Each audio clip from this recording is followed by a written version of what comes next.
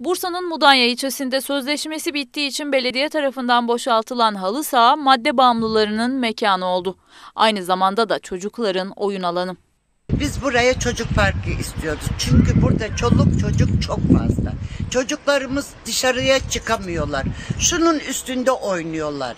Yani nereye gitsin bu çoluk çocuk? Şurada oturduğumuz semtte inanın belki 30'dan fazla çocuk var. Çocukların oynayacak başka yeri yok diyen mahalleli gösterdiği mekanın tinerciler ve madde bağımlıları tarafından kullanıldığını söylüyor. Bu nedenle endişeliler. Sigara içen burada, bütün çoluk çocuk burada. Ne bileyim ben şaşırıyoruz yani lütfen. Nereye gidelim? Çocuklarımızı nerede oynatalım? Burası hiç olmasa güzel bir çocuk parkı olsun, salıncaklar olsun. Ne bileyim bir şeyler yapsınlar ki çoluk çocuk gelsin burada oynasın annelerinin yanında. Bir an önce tedbir alınmasını isteyen mahalle sakinlerinin tek istediği bölgeye çocuk parkı yapılması.